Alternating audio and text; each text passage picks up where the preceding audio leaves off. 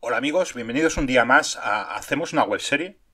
Desde hace un tiempo pues, le llevo dedicando algunos, algunos podcasts a personas dedicadas al mundo del arte, de la literatura, de la música, del cine, eh, de Teruel. Y cuando estaba pensando en preparar esta serie, una de las primeras cosas que tuve claras, bueno, aparte de una serie de personajes, pues obviamente Isidoro Dantillón, Buñuel, Chomón y Joaquín Carbonell, una de las primeras cosas que tuve claras fue que se tenía que llamar De Teruel no es cualquiera.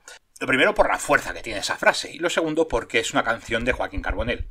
Así que si continuamente en este podcast he estado homenajeando a Joaquín Carbonell, que no pensaba dedicarle un capítulo tan pronto. Eh, ahora que nos acaba de dejar, pues quiero aprovechar para hacerle un homenaje un poquito más largo, más extendido y centrándome más en su figura y no solamente en, esa canción que a mí tanto me gusta y que tantas veces he cantado eh, tanto dentro como fuera de la provincia. Y es que Joaquín Carbonell siempre nombraba la provincia, ¿no? Es como tantos, ¿no? Como Luis Alegre, como tanta otra gente que siempre, aunque esté donde esté, siempre recuerda a Teruel y recuerda a su pueblo. El pueblo de, Joaquín Carbonell, además, es un pueblo maravilloso.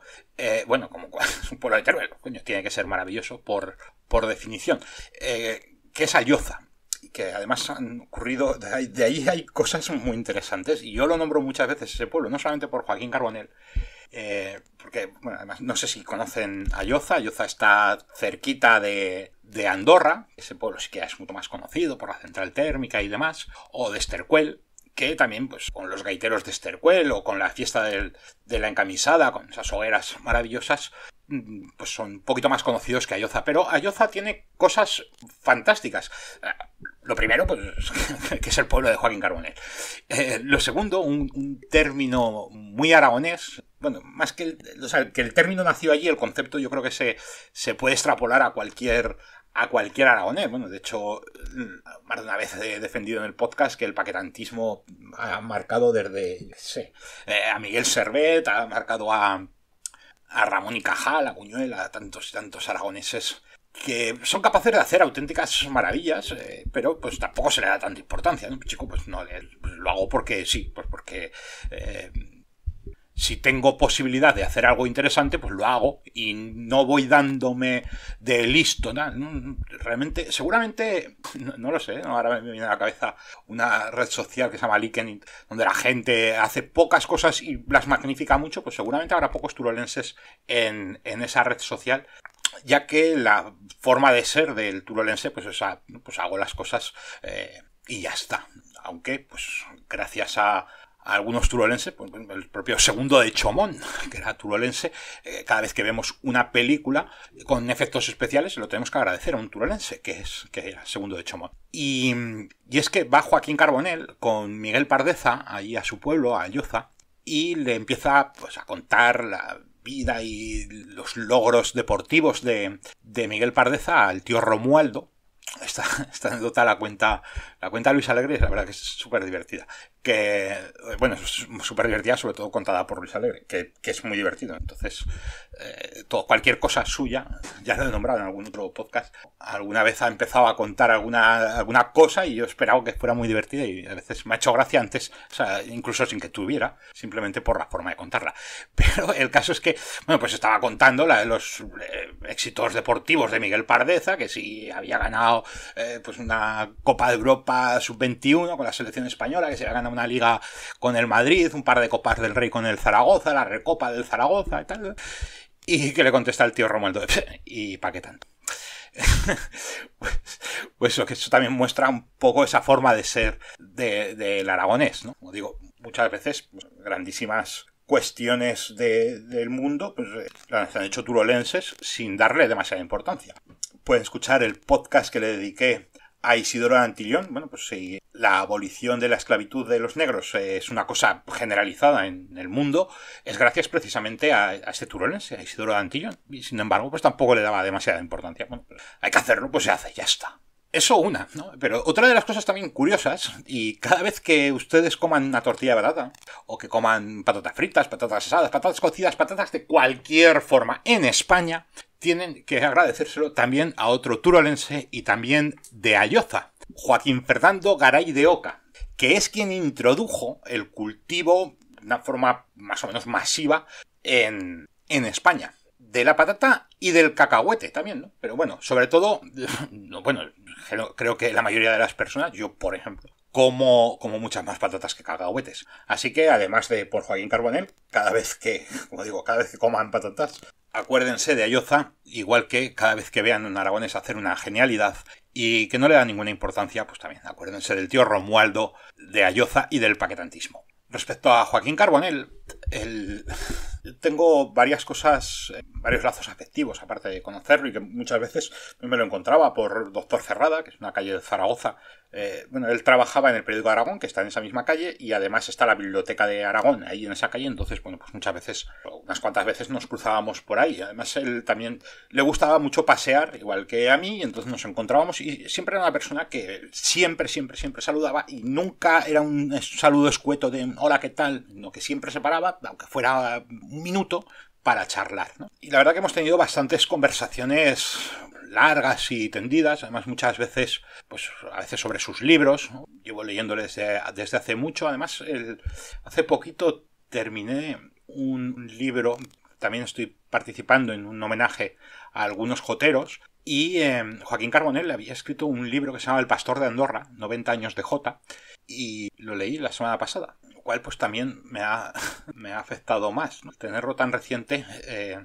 su fallecimiento pues me, me ha afectado más. Además, este año era un año especial para él, ya que hacía 50 años que se dedicaba a la canción. Y con algunos grandes éxitos y algunas cosas también muy curiosas. A mí me, me, resultó muy entrañable hace un poquitos años, pues creo que en el 16, para las fiestas de agosto de Adobes. Adobes es un pueblecito de la provincia de Guadalajara, un pueblo pequeñito, lindando con, la provincia de, Teruel, pero ya está en Guadalajara, bueno, está a unos 20 kilómetros de, Orihuela del Tremedal, y hizo un concierto ahí. Eh, es, que para mí es un, es un pueblo pequeñito. Eh, bueno, las últimas elecciones, para que se hagan una idea del, tamaño del pueblo, eh, votaron 30 personas. O sea, una cosa, pues, pueblo condenado a, extinguirse dentro de, no mucho, con una población mayor, pero eh, que todavía hace cosas interesantes, las fiestas y, bueno, para el verano, eh, además es muy bonito, está reconstruido desde hace poco, unas calles preciosas imitando la, arquitectura y la, el urbanismo de, de, Albarracín. Y bueno, que además comentaba lo de, eh, las últimas elecciones, 30 votos. Bueno, eh, también una de las cosas, la verdad es que Adobes es un pueblo curioso, pintoresco. Dice, como dice su, su, su himno, en un cerro pintoresco y junto al cielo se alza Adobes, pueblo hermoso en que nací. Bueno, pues el día, o sea, en las últimas elecciones hubo 30 votos, en las anteriores hubo 28, eh, lo cual es todo un, todo un logro que pese al hartazgo de tantas votaciones y demás, pues, había aumentado eh, el número de votantes. Pero bueno, eso nos hace una idea de, la poca población que hay. ¿Y por qué destacó este concierto de Joaquín Carbonell? Bueno, pues eh, mucha gente le encantan los conciertos grandes concierto de los Rolling Stones en Copacabana, tal, bueno, sí, puede estar bien, sí, pero la grandeza de un artista no solamente se mide por, por la grandeza de sus conciertos o el número de discos que vende o los libros que escribe y demás, sino también por la grandeza personal.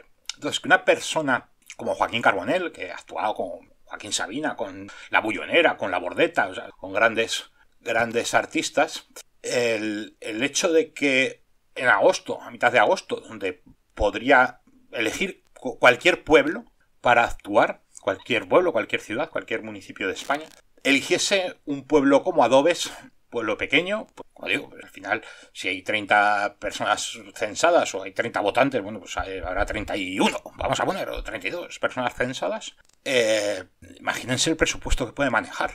Sin embargo, que un artista por mucho que no requiera el espectáculo de Joaquín Carbonell, pues eh, grandes técnicos de iluminación, grandes técnicos de sonido, grandes eh, despliegues, grandes cosas, eh, el hecho de ir a un pueblo pequeño me parece superhumano y muy destacable. Muy, demuestra mucho la forma de ser y esa entrañabilidad que siempre rezumaba Joaquín Carbonell. Lo que digo, siempre que nos veíamos, siempre, siempre, siempre, fuera un minuto, fuera media hora, siempre nos parábamos y hablábamos. El hecho de que elija un concierto en un pueblo, ojo, que es que ya no solamente lo pequeño que es, sino que llegar a Dobes Ah, porque ir de Zaragoza, pues, yo qué sé, hasta Orihuela del Tremedal muy bien, pero a partir ya de Orihuela, cuando tienes que empezar a callejear, o hasta el Pobo de Dueñas, también bien, pero desde el Pobo ya meterse por todos estos pueblos de Tordesillos, Tordellegos, Etiles, Adobes, tal, hostias, cuesta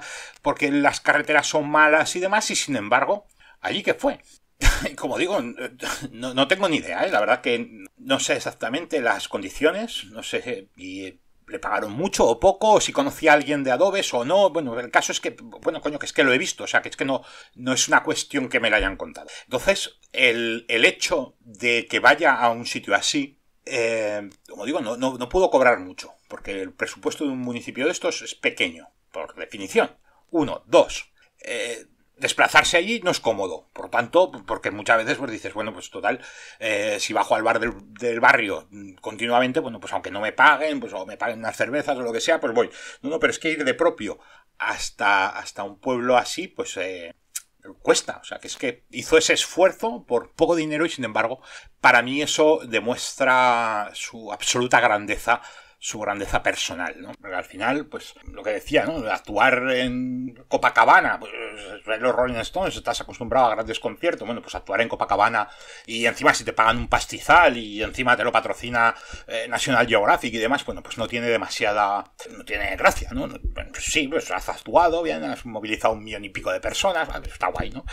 Pero el, este tipo de, de, actos, ya no solamente de actuaciones, sino el acto, el hecho de, de este concierto, para mí me hizo admirar, si cabe, todavía más a Joaquín Carbonell.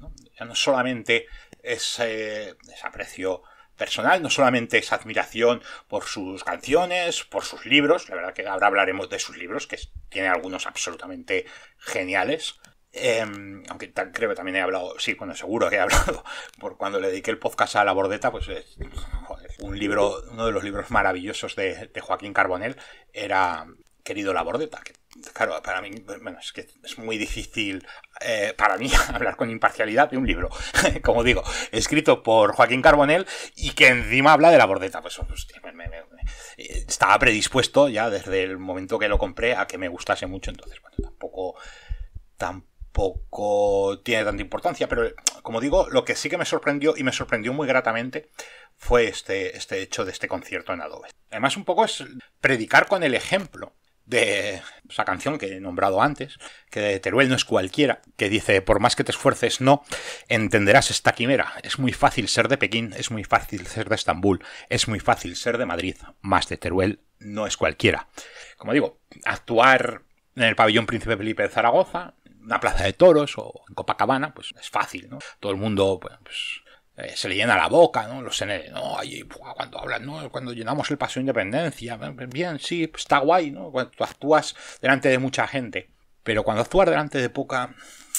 Aparte de que es mucho más difícil, porque un fallo en un gran concierto, que encima estás arropado por otros músicos, por técnicos, por la iluminación, por la propia ruido y bullicio que genera una multitud, bueno, pues cualquier fallo se, disipa. ¿no? En cambio, en un sitio pequeñito, como es el local de la estrella, en Adobes, tenemos el salón de actos del pueblo, el, que no sabría decir para cuánta qué capacidad tiene, pero bueno, tampoco no es, muy grande. Bueno, se pueden hacer una idea, ¿no? Con el tamaño del pueblo, pues el pueblo de eh, acorde, ¿no? Con el pueblo. Entonces, eh, allí sí que no hay más mm, opción que hacer las cosas bien. Porque no te va a tapar nadie. No te va a tapar un juego de luces. El técnico que se ha dado cuenta de algo y de repente mete unos ráfagas con las cegadoras. O el técnico de sonido que hace una atrapalada para evitar un, yo qué sé, un gallo o que está mal afinada una guitarra o cualquier cosa. No, no, no. Ahí sí que no hay opción. O sea, o lo haces bien o se nota. Y no hay nada peor que actuar mal en un pueblo. ya no son los que no cobres, es que lo más fácil es que acabes en el pilón. Y bueno, hablaba de los libros de, de Joaquín. Como digo, hace poquito, la semana pasada, me leí El Pastor de Andorra, 90 años de J. Y eso, bueno, este libro que, como digo, es que no, soy imparcial, ¿no? Me, encanta. Eh, querido La Bordeta. además, Joaquín Carbonell fue alumno de La Bordeta, uno de estos. Eh, esa serie de, de personas inteligentísimas que, que estudiaron con Eloy Fernández Clemente, con Sanji Sinestra, con José Antonio de la Bordeta, por ejemplo, eh, el propio Carbonell, Pizarro o Federico Jiménez de los Santos. Eh, no es casual. Bueno, no es casual ninguna de las cosas, ¿no? O sea, al final si tienes unos grandes profesores como Eloy Fernández Clemente eh, o, La Bordeta o Sanchi Siniestra, pues lo lógico es que alguien que tenga talento lo potencien mucho más. Y además, pues también el hecho de que de tener esos buenos profesores, pues claro, al final eh, Federico Trillo, eh, Pizarro, Trillo no lo considero una persona brillante, pero Pizarro sí.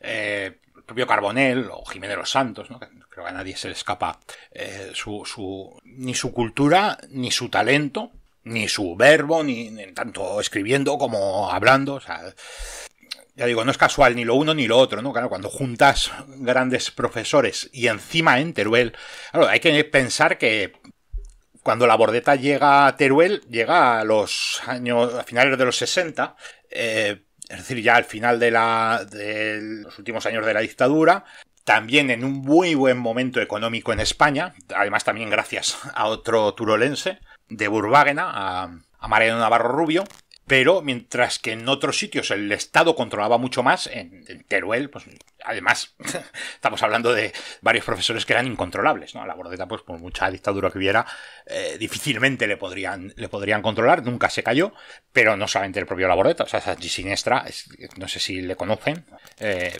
de hecho está vivo todavía, es un dramaturgo increíble, ¿no? Y bueno, ha ganado un montón de premios, pero ya no solamente eh, por lo que haya ganado. Si leen el cerco de Leningrado, o, bueno, lo ven representado, eh, hay Carmela, o que además otro aragonés también la llevó al cine, ¿no? Eh, Carlos Saura, o incluso ya no las obras, sino cuando escribe sobre teatro, o sea, el, la escena sin límites, un libro de, de José Sánchez Siniestra, eh, es fundamental para entender tanto el teatro como cualquier eh, arte escénico. Entonces, como digo, pues cuando hay buenos, cuando hay buenos profesores es fácil eh, que también haya alumnos estrella.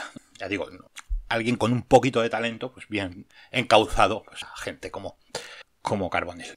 Y la verdad es que estoy en una situación un poco trágica, ¿no? O sea, por un lado estoy triste por la muerte, pero sin embargo, toda, Carbonell transmitía mucha alegría y no solamente eh, en sus canciones, en sus textos, en todo, ¿no? Entonces es como, coño, me, me, acuerdo de él y me hace cosas, me hace gracia y a la vez estoy triste. O sea, es una situación, joder, que no sabía si ponerme delante del micro o esperar unos días más, ¿no? Pero también quería aprovechar, ¿no? Y un poco también, pues, está este conflicto de emociones, pues también quería transmitírselo a todas las personas que, quisieran escucharme y que quisieran oír hablar de, de Joaquín Carbonell. Y, y es que él tiene también tres libros, es que son, bueno, tiene un libro que es desternillante, o sea, tienen que, ver, que leerlo en, de los deberes que les pongo, bueno, entre todos los deberes, hay, es que no sé cuál, por cuál sería más importante, ¿no? Pero incluso si no quieren leer el de Querido La Bordeta, que como digo, es un libro fundamental, hay un libro que a mí me parece divertidísimo, que es La mejor tarde de Goyo Letrinas. Una novela divertidísima. Pero luego tiene tres libros escritos a limón con, con, Roberto Miranda, que Roberto Miranda era el director de cultura del periódico Aragón. Recordemos, eh, Joaquín Carbonell escribía en el periódico Aragón, entonces allí bueno, también había un ecosistema de, de grandes escritores. Y además, eh, Roberto Miranda, que también es otro personaje curiosísimo, que fue cura, se salió, fue misionero y lector empedernido, además vive cerquita de mi casa y me lo encuentro muchísimas veces. Y siempre, siempre, siempre lo veo con algo para leer. O sea, da igual, esté leyendo o vaya a comprar el pan siempre, o lleva algún libro, o lleva el periódico, lleva cualquier cosa, ¿no? Siempre papeles impresos para, para leer. Eh, incluso aunque esté jubilado, ¿no? solamente Eh, o sea que no, no, necesita leer para, para, trabajar, sin embargo, por placer y por vicio. O una cosa es el placer y otra cosa es lo de, lo de Roberto Miranda, que es, un, como digo, un lector ya de, de vicio, ¿no? Enfermizo. Seguramente si le dirán a elegir entre deja de leer o deja otras cosas, seguramente dejaría todo lo demás excepto, excepto leer. Y, y tiene, tiene algunos libros muy curiosos, ¿no? Esos, tres libros que se han escrito juntos. Roberto mm, eh, también es de otro pueblo súper interesante que se llama Terrer. Terrer, que eh, es un pueblo que aparece en el cantar del, el cantar del Miocid. Bueno, pues eh, tienen proyecto de estatuto de Aragón, plan B, Gran Enciclopedia de Aragón, Preta y Aragón a la brasa, que se pueden imaginar por el título. Eh, claro, también, igual si ustedes lo leen y no son de Aragón, pues igual no entienden bien todo ese humor que hay en esos libros, pero la verdad que son, para un aragonés, es eh, eh, desternillantes, ¿no? Desde, principio a fin, ya el propio nombre, ¿no? Aragón a la brasa, que es genial. O cuando pone, lo firman como Carbonel y Coipesol, pues, o sea, desternillantes. Por eso digo que, este conflicto de, por un lado, no puedo pensar en Joaquín Carbonell sin pensar en alegría y en, y en buen humor y en diversión y en risas. Y por otro lado, pues como digo, la tristeza de, que haya desaparecido, pues también es, patente, ¿no? Pero bueno, yo prefiero quedarme con las cosas buenas, ¿no? De quedarme con, como digo, con ese concierto en Adobes, con esas conversaciones ahí en el, en Conde Aranda, o sea, en Doctor Cerrada, con, con esos encuentros que organizaba en Belchite. Y además, aunque eso ya no se vuelva a repetir, digo, ya nunca volveremos a ver un, concierto de, Carbonell, eh, no me lo podré encontrar en la calle y no podremos estar durante un buen rato hablando, siempre nos quedarán sus libros. Y al final, mientras haya lectores, los autores nunca mueren. Muchas gracias por haberme escuchado y seguiremos hablando de otros artistas, este humor turolense de música, de libros y de películas aquí en Hacemos una webserie